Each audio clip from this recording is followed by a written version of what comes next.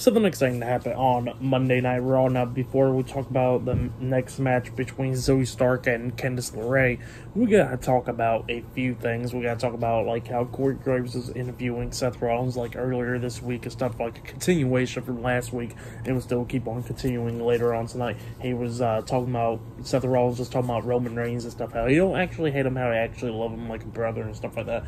It's just what he's doing now. He just don't like and with him holding up the championship and all that stuff, he says that he has to win the world title and all that stuff at Night of Champions, and uh, he's talking about like how he has to beat AJ Styles at Night of Champions, how they got history with each other and all that stuff. So yeah, that's what Seth Rollins was talking about, and there'll be like more of a continuation for that uh, later on tonight.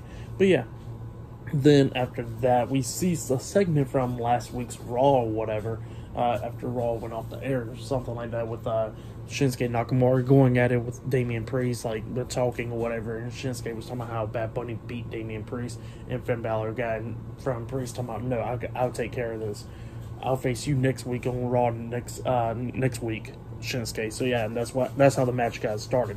But yeah, uh, Byron Saxton goes up and interviews Finn Balor and Damian Priest backstage right now, and yeah, Finn Balor was talking about how Damian Priest got some other stuff to deal with, and he'll beat Shinsuke Nakamura tonight on Raw. So yeah, that's what he was talking about the Judgment Day with Reign Supreme and all that stuff.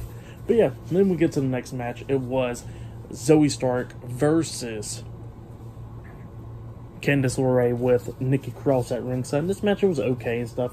Candice LeRae knocks uh, Zoey Stark outside of the ring and stuff. And She jumps off the second rope with a crossbody onto Zoey Stark, and then uh, Nikki Cross is trying to celebrate with uh, Candice LeRae and stuff, and got her distracted. And then we see Zoey Stark knocking um, Candice LeRae into the steel steps and knock down uh, Nikki Cross at the same exact time. She grabs Candice LeRae, throws her back into the ring, hits her finisher move onto Candice LeRae, but it was kind of like botched. It didn't come close to connecting and she pinned for the three count. So yeah, Zoey Stark defeated Candice LeRae tonight in a one-on-one match. For that match, I'll give it one and a half stars. That's why I'll give it. It was an okay match, but yeah, that's why we're there.